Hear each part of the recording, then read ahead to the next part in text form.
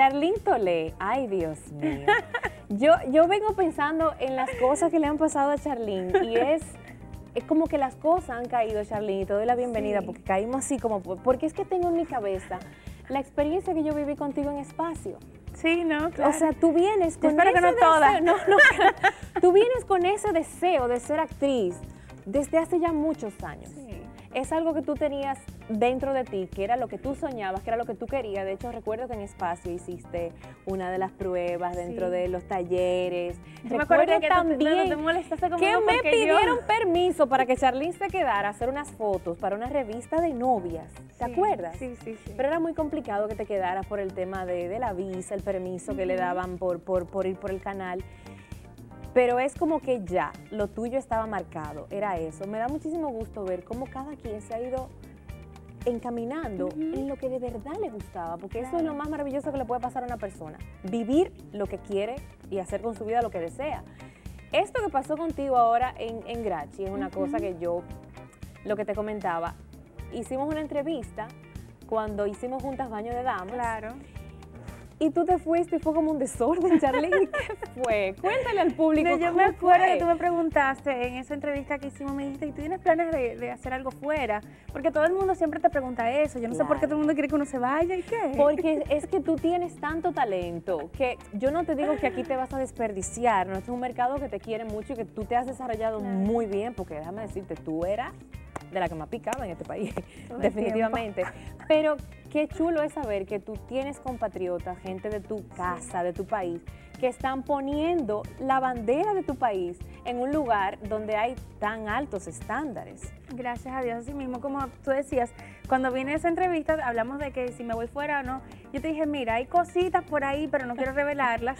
De hecho, lo único que yo tenía planificado era reunirme con un, con un manager, que me gustaba lo, lo que venía haciendo, me gustaba su, su cartera de clientes y todo eso, y dije, bueno, me quiero reunir con él porque nadie sabe, por algún lado hay que empezar, incluso para que él me oriente. O sea, yo fui con una maleta, te lo cuento, de cuatro días A ver, a ver, a reunirme con el caballero. Él se llama Luis Luyando. Entonces me reuní con él.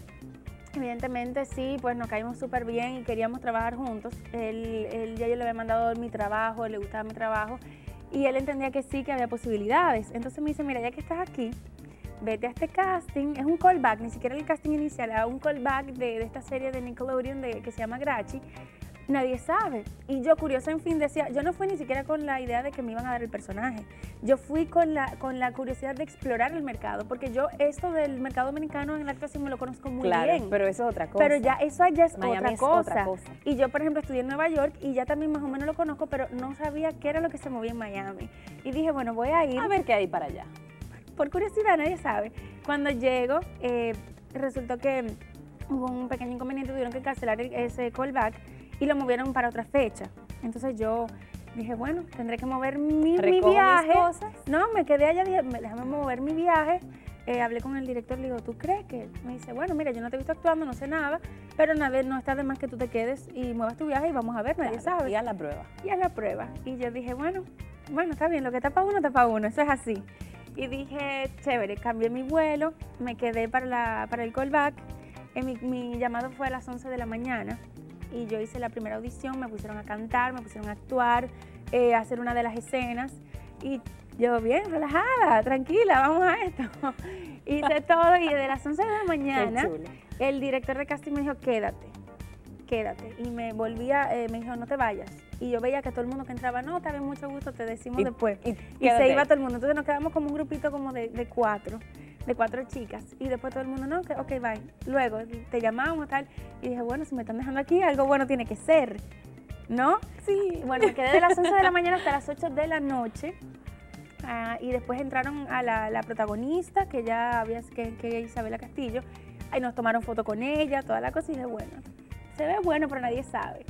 Me quedé unos días más esperando la respuesta, porque tú sabes que en caso de que me dijeran que sí, eh, tenía que empezar inmediatamente a trabajar lo que era la visa O1, que es la que estoy utilizando para para, para trabajo. todo esto, para trabajo allá.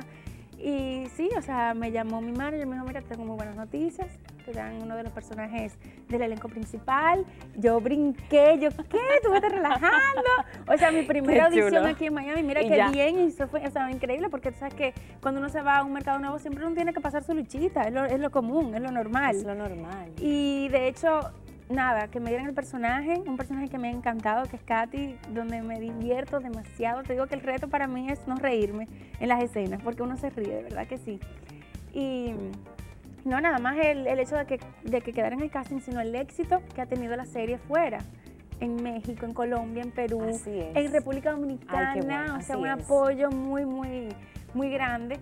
Y, nada, y también que ya están escribiendo nuevos e, episodios, o sea que nos quedamos en gracia por un buen tiempo. Sí, Exactamente. ¿Cómo te ves tú de aquí en adelante, Charlene? Porque un poco Grachi va a marcar tu carrera. No, obvio, obvio que sí. Eh, hay proyectos por, eh, pues, con, si Dios quiere, con la misma empresa más adelante, pero tú sabes que lo mío es cine y yo nunca pienso abandonar eso. O sea, yo estoy en televisión ahora y lo disfruto y le agradezco a Dios de darme esta oportunidad y la paso sumamente bien, pero definitivamente estoy perfilada luego para hacer algo de cine. No, o sea, si es en República Dominicana que me toca bien, pero si es fuera, o sea, Nueva York o Los Ángeles, para allá nos iremos.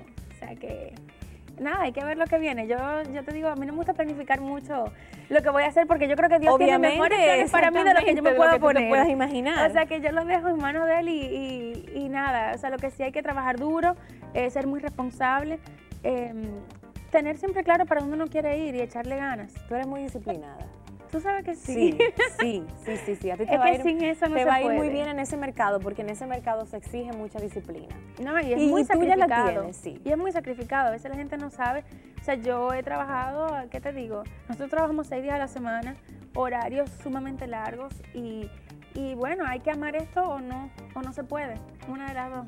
Hay que de verdad entregarse con todo mira que estoy lejos de mi familia, o sea, fue un cambio muy drástico para mí y, me pasé la Navidad solita ya y eso, bueno, es difícil, pero sí son sacrificios que, que rinden, o sea, que uno le ve los frutos.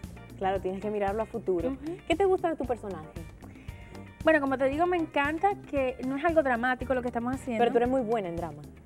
Sí, muy buena. Sí, pero ¿sabes lo que pasa con el drama? Que muchas veces el drama, cuando uno va a hacer algo por tantos meses en drama, uno termina también un poquito afligido. O sea, es lo normal. Eso te, te, te, drena. Te, drena un poco. Todos los días, si yo tuviera que estar llorando en el set, créeme que voy a estar de nada después de.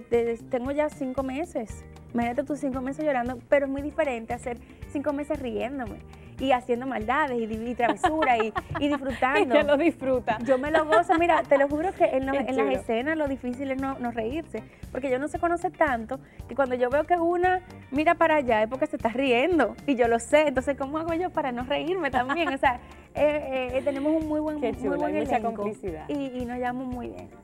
Charlene, yo te deseo, como te dije en esa entrevista, y ojalá que después de esta lo que te llegue sea cine. Pero de verdad yo te deseo que te vaya tan bien, porque, porque de verdad me encanta ver cómo se abren las puertas de tus sueños, cómo siguen llegando las cosas que tú querías para tu vida y que has trabajado muy fuerte. No te han llegado por casualidad, te han llegado preparada con la maleta hecha y puesta para lograrlo, que es como tienen que encontrarse las oportunidades. Eso es preparada y lista para desarrollarlo. Yo estoy feliz por ti. Y también me encanta, me encanta y cada vez que leo tus cosas por Twitter, me, o sea, me fascina que te esté yendo tan bien, porque te lo mereces de verdad. No, y tú sabes que tú has estado ahí, o sea, desde el inicio de mi carrera, porque cuando hicimos espacio Óyeme, para mí eso fue un mundo de oportunidades. Ir a México, ver Televisa, ver esto. O sea, yo me metía en todo. Bueno, yo fui de las traviesas de, de, espacio porque sí, hay una inquietud, tú sabes, de querer aprender. Así que de verdad que gracias y, y, ojalá, ojalá que volvamos, volvamos a trabajar juntas. Siempre lo digo, me, encantó trabajar contigo y, y que se repita. Así es. Un beso grandote. Y que te siga yendo súper bien. Gracias, mi amor. Ya regresamos.